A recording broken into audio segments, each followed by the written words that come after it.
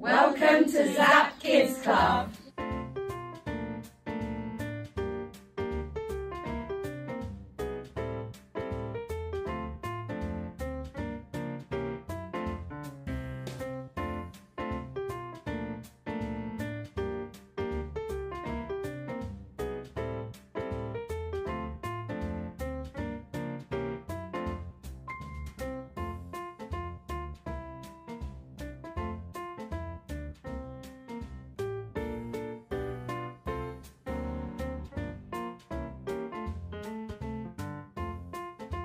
My son has a global developmental delay which affects communication. He's entirely non-verbal. He attends Riverside. We've been through some really challenging times and we found it so difficult to find support. There is not a lot out there, so we're really grateful to Short Breaks at Zap Kids Club.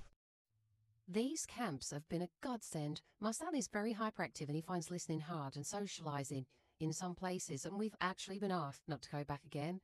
He's sensory seeking, he wants to be busy at all times. He loves the Christmas lights and everything, so coming here, well, it's helping him to fall asleep, and he's sleeping better at night time. And you know what? It helps me as I have health problems. The respite is really important for me, but for him too. He loves it, and it's important he sees everyone, and he's safe. I'm so grateful.